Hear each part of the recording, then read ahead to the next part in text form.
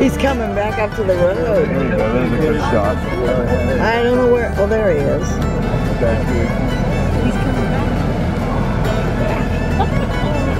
Oh, come on back at Sorry.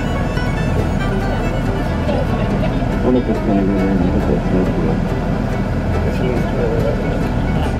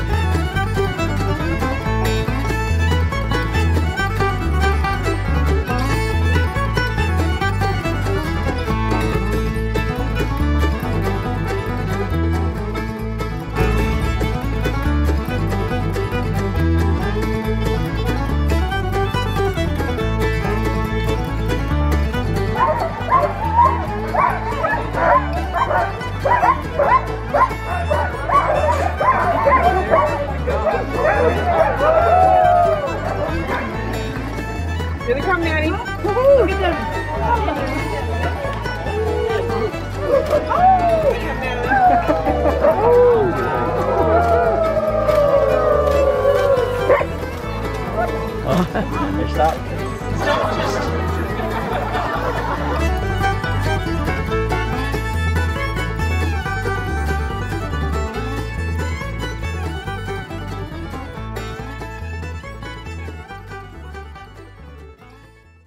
soulless engines with warm hearts. That's cool. Now, the thing is, in the past, our dogs really would have been mostly working to uh, patrol the boundaries of the park, looking to bust market hunters. However, today their duties extend far beyond that. Instead, they're going to be hauling freight for the in, in maintenance of infrastructure here in our park. Uh, they'll be used actually to uh, move scientific teams and their equipment deep into the heart of the Denali wilderness to do important research, including research on climate change. In fact, they'll also be used for the breaking of trail in the snow for winter recreationists as well. They wear a lot of hats. They're my favorites uh, of my uh, coworkers here. but in order to do all of that work, you need um, you're okay, Betty. in order to do all that work, you need the right dog for the job. There's a reason we don't have a kennels full of chihuahuas here.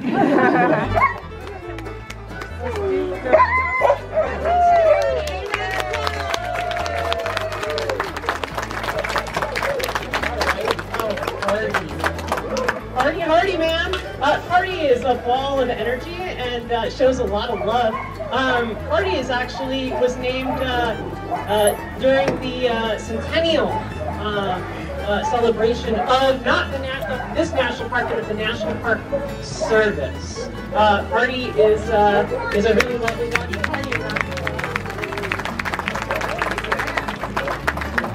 Okay, next up is going to be Merlin. Merlin is going without a leash. Oh wow. Okay. Uh, Merlin is actually one of our puppies. Merlin is about one year one year old. You can tell. He's a cutie. She has really large toe pads still. She's uh, still growing into them. Alrighty, give Merlin a round of applause.